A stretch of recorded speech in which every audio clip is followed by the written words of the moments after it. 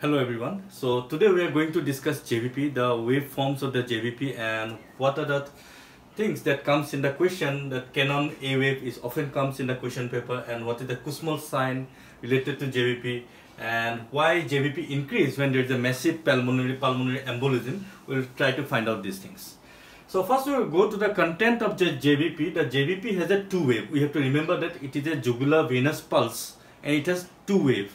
So one is a wave another this is one wave you can say this is one part of the wave and this is the second wave. Okay? So this is one part this is the second part. So and where we assess the JVP we usually assess the JVP in internal jugular vein. Okay? We know that the internal jugular vein it combines with external jugular vein and it drains into the superior vena cava. It drains into the superior vena cava into the right atrium into the right atrium. So because the internal jugular vein, this is internal jugular vein, this is external jugular vein, because this one is quite straight to the right atrium. So any change into the in the right atrium, it will be reflected in this manner. So we assess the JVP in this internal jugular vein, which is connected to the superior vena cava and to the right atrium. Right. So let's go with each of the wave first. So we start with A wave. A for, you have to remember that there is two peak here. One is A, one is V. Okay. What does A stand for? A stand for atrial contractions. A is for atrial contraction. Atrial contraction. Means when the atrium contract. Okay. So we can imagine it, the situation here is like this. So, so let's say this is the okay so okay.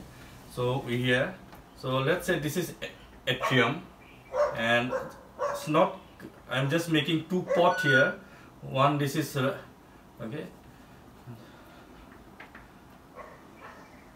Okay. So let's say this is right atrium this is right ventricle and this is the passage called tricuspid valve. All right so this is not correct, but I am just making it to understand. Anatomically, it don't look like that. So the right atrium is connected to right ventricle and we are not mentioning today about internal uh, inferior vena cava. This is the superior internal jugular vein, which is the superior vena cava. So when the atrium contract, when the right atrium contract, what's happened? When the right atrium contract, blood goes this way it goes to the right ventricle and it also there will be fluctuation that side. Means every time the atrium contracts the right atrium contract it give a fluctuation of uh, the venous pulsations. And as a result it produces a wave. Means every time the atrium contracts there is a a wave. So if we correspond to the ECG wave remember ECG wave that is P Q R S T okay okay wait let me draw it here.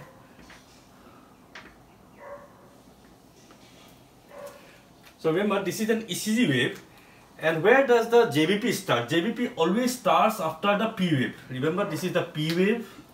So JVP always starts after P wave. Means because this is the atrial contraction part atrium contracts. So when the atrium contracts then the blood goes up and down. Okay? Then it produces a wave. It produces a wave so JVP starts after P wave. Remember that. It starts after the P wave. Okay. It starts after P wave. So A wave is always and always found after the P wave of ECG. Remember that. Okay. So atrium contracts and so when we start JVP, remember the A wave when it is produced, it means the tricuspid valve is already open it is already open.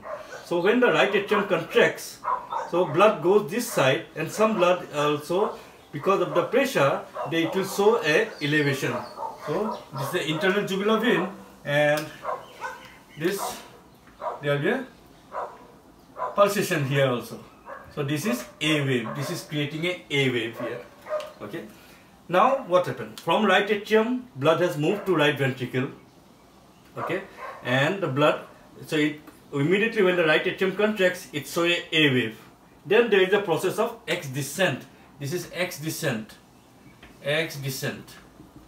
okay x descent so now the blood is from the right atrium is going to the right ventricle blood from the right atrium is going to the right ventricle so pressure in the right atrium is falling down so pressure is falling down which is producing x descent which is producing the x descent then what comes in the middle there is a interruption here so when this blood is emptying into the right ventricle and the right ventricle is now gradually filled up, now what will happen? Tricuspid valve will close. So there is a closure of tricuspid valve.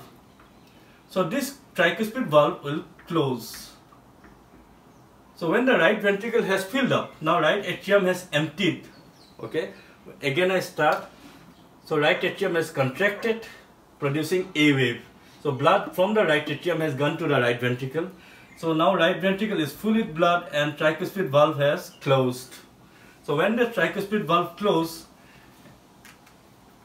and the blood has struck this closed tricuspid valve, it shows a peak like this. This is called C wave. So this C wave is because of tricuspid valve closure. Okay. So this C wave is because of the tricuspid valve closure. So blood is going to the right ventricle and right ventricle is filled up and C tricuspid valve is closed and it produces a wave, small wave, okay, which is recorded in the JVP and it gives C wave. So you can see there is a C wave, but why the X descent is still continuing even after C wave? Okay, the question is that why the X descent it is still continuing. The tricuspid valve is closed here. So it, blood from the atrium is not going to the ventricle then why this pressure is still falling down? The answer to that is, now after the tricuspid valve has closed, right ventricle has gone for systole, it's contracting. So what happened? Right ventricle has contracted.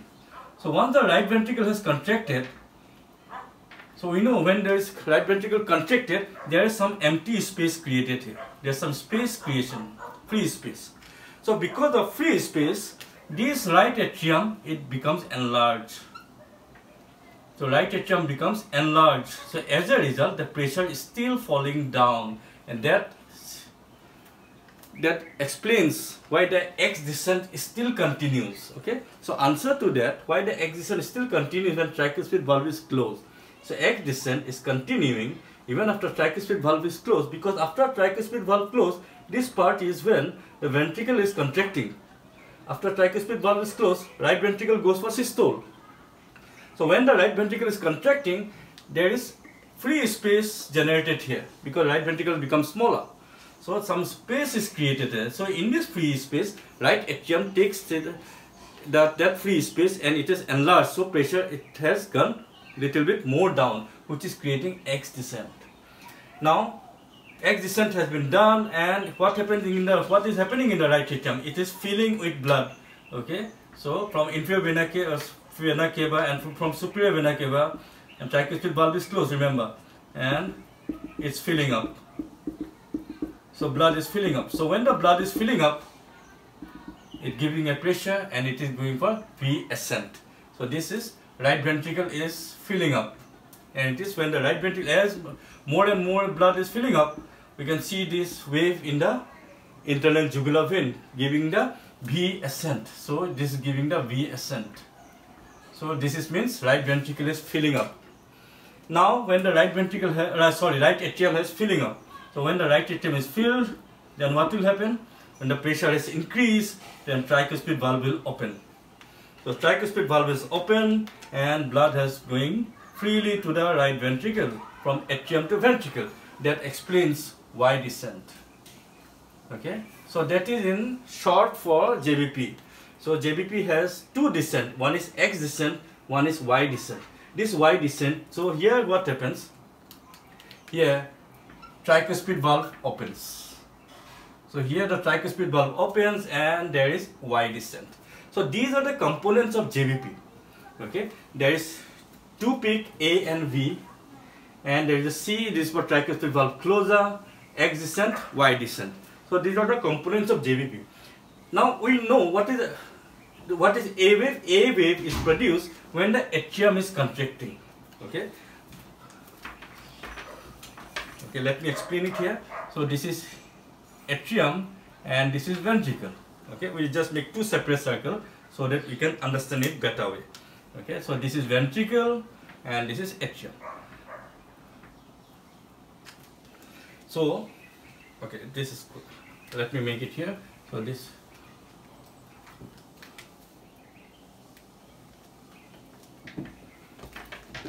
it's quite great.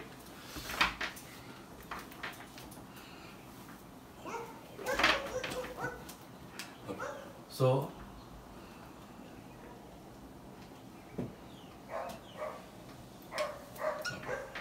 this is atrium and this is ventricle. Okay, this is right atrium, right ventricle. Okay, so right ventricle, right atrium. Alright. So what is cannon wave? Cannon A wave, which is mentioned. So if the atrium contracting and there is tricuspid stenosis. Remember, tricuspid stenosis.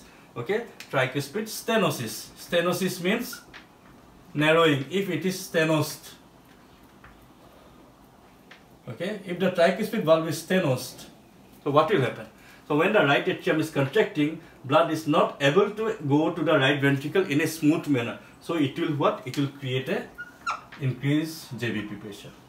The JVP will be rise because blood cannot go this way in smooth manner so there will be increased pressure upwards. So there will be a, we call it's a giant wave a wave okay? There will be or the a wave is exaggerated. The a wave will be normally we can see a wave then in that case when the tricuspid valve is stenosed we can see a wave is exaggerated. It is quite bigger than a but in some conditions we see the a wave is quite big, what we call cannon A wave. So if atrium is contracting while the tricuspid valve is closed, when that can happen? If it is closed completely, it's not yet open, but atrium has already contracted. So when the right atrium is contracting against a closed tricuspid valve, then we will get a giant A wave that is called cannon A wave. And if you remember, that is third degree heart block.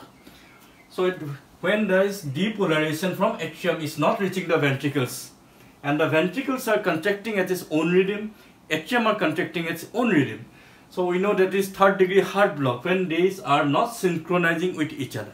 It means when there is a third degree heart block, don't forget to look for JVP, you'll find a cannon A wave. Why? Because A wave is produced because of atrial contraction. So there will be cannon A wave if the tricuspid valve is closed completely. That is in we call AV dissociation. Means atrium is not talking to the ventricles at all. They are contracting in a different manner. AV dissociation. So in case of third degree heart block, third degree heart block, there will be cannon A wave. Remember that third degree heart block. But if there is tricuspid valve stenosis, then we get a big or giant A wave, not cannon A wave. There will be A wave is exaggerated, but it is not so high that it, it we call it cannon A wave. So when we get increased A wave means when there is a tricuspid stenosis. So next point is that what is Kussmaul sign here? So normally what happens when we inspire, when we are inspiring, we are taking inspiration. So what is happening here? There will be large, this right ventricle is becoming quite large and lots of there is an increased venous filling. There is increased filling of the right ventricle because of suction pressure. Because of the suction pressure, there is increased filling of the right ventricle. Normally. Okay. So that is physiologically, their JVP goes down during inspiration. But if due to some reason the JVP don't go down when there is inspiration, instead of going down, it is increasing so that is called Kussmaul sign when JVP increase on inspiration. So it, often comes as uh, it often comes in MCQs. What is Kussmaul sign? So Kussmaul sign is JVP is increasing during inspiration. So when JVP increase during inspiration, then we call that Kussmaul sign. Okay. Next question is often it is discussed in many times that why there is increased JVP in pulmonary embolism. So JVP usually don't increase in pulmonary embolism, but it can increase in massive pulmonary embolism. So let me explain it right here that what happens in embolism, okay? So these are the two lungs. So this is the lung and you see this is the pulmonary artery. And let's say there is an embolism here. Let's say there is a pulmonary embolism in the pulmonary artery, in the pulmonary capillaries. So where this blood is coming from? This blood is coming from the right ventricle, right? This coming from the right ventricle. It is coming from the right ventricle. So this from the right ventricle, the blood goes to the lungs. It goes to the lungs. So if there is a massive pulmonary embolism, massive pulmonary embolism, so what will happening here? So what is happening? So if there is a massive pulmonary embolism in this pulmonary artery here, okay, so what will happen? Right ventricle cannot empty the blood during contraction, during systole, right ventricle could not empty completely in the lungs, in the pulmonary circulation. So obviously this pressure which is not going, the blood, if the right ventricle cannot empty completely, so where this pressure will go? This pressure will go to the right atrium and right ventricle and right atrium and increase JVP. So there, when there is massive pulmonary embolism, there is always an increase in JVP because this is, there is enough back pressure. Okay, there is another question here. What happens when there is tricuspid regurgitation? Okay, so let's imagine another condition. What, what is the change in JVP in tricuspid regurgitation? Okay, so this is, we know this is right atrium and this is right ventricle. Okay, so right ventricle, right atrium and this is the tricuspid valve. So we are discussing tricuspid regurgitation. So now let's imagine this is tricuspid valve is closed. Okay. So we know this tricuspid valve where it closed, it closed in C wave. It gives us C wave. Okay, it gives us C wave. So here this is A wave and sorry not exactly yeah C wave this is C wave. So here is the tricuspid valve closed. C for closed. Okay, the tricuspid valve closed. So after the tricuspid valve, what is happening here? After the tricuspid valve is closed, what is happening? Ventricle goes for systole. Once the tricuspid valve is closed, ventricle goes for systole. Ventricle is going to contract now. So ventricle contracts and empties the blood to the pulmonary circulation, right ventricle. So if there is regurgitation, means tricuspid valve don't close completely. So when the right ventricle will systole, when the right ventricle will contract, then some blood will escape because there is regurgitation. So tricuspid regurgitation is a condition when blood is escaping to the right atrium from the right ventricle. So when there is improper, incomplete closure of the tricuspid valve. So blood is escaping here to the right atrium from right ventricle. That is in tricuspid regurgitation. So if blood will escape, so what will happen? There will be so when the blood is escaping after this, this part, you know, this part is the ventricle is contracting. So ventricle is contracting. So blood is escaping. So there will be exaggerated V wave. So this V wave will be exaggerated because of increased blood coming to the right atrium during contraction. So this part will be which is the venous filling part. This V for venous filling. So there will be already some amount of blood is coming here. During ventricle contraction there will be some blood is coming here. So it can cause exaggerated V wave. And sometimes this V wave is superimposed with C wave. This V wave is superimposed with C wave. So that can happen. Okay so what happens in tricuspid regurgitation? There is exaggerated V wave remember V wave. This is the part when tricuspid valve close. Now what are the cases when JVP increase? So when JVP is increased means what? When, when the right ventricle is not able to expand, okay, is not able to take the blood from the right atrium. So what are the causes can be? When right ventricle cannot take the blood from the right atrium, when it cannot expand. So what are the conditions that right ventricle cannot expand properly, cannot take, take the space when there is already when the pericardium is quite stiff like pericardial effusion. Pericardial effusion is one condition when JVP is increased because right ventricle cannot take the blood from the right atrium because right ventricle cannot expand. So pericardial effusion is one condition. Another condition there can be, you see, the cardiac tamponade and there is constrictive pericarditis. So constrictive pericarditis is another condition and restrictive cardiomyopathy. So these are the common conditions when JVP is increased, when pericardial effusion, constrictive pericarditis and restrictive cardiomyopathy. Restrictive cardiomyopathy. So these are the common conditions when JVP increase and that is uh, that always comes in the exam. So what are the conditions that lead to increased JVP? Pericardial effusion, constrictive pericarditis, restrictive cardiomyopathy. So what are the conditions that is similar to these three causes? In these three causes, like in effusion, pericardial effusion, constrictive pericarditis or restrictive cardiomyopathy, right ventricle cannot accommodate it cannot expand properly. So it cannot accommodate the blood coming from the right atrium. So if it cannot take the blood coming from the right atrium, obviously the pressure will go in upward direction and cause increase in JVP. so these are the things that are required when you study JVP. What is Cannon A wave, Kussmaul sign, and why it increase in embolism, and what are the parts of JVP, and what are the conditions that cause increase in JVP. Thank you.